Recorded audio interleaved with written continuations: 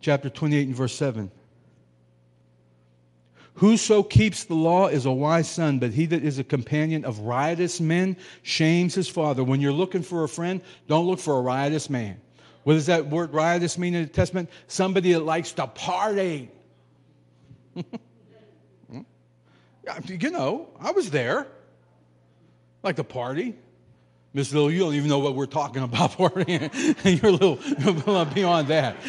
you had your own style of party, and you know your party was up the Dairy Queen. We had we have a different we had a different kind of party.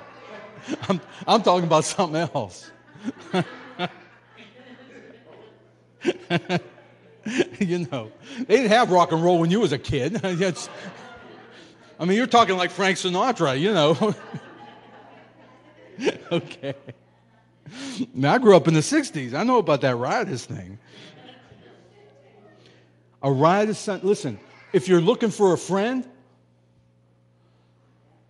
don't look for somebody likes, and I'm not talking about the music, just don't look for somebody likes rock and roll.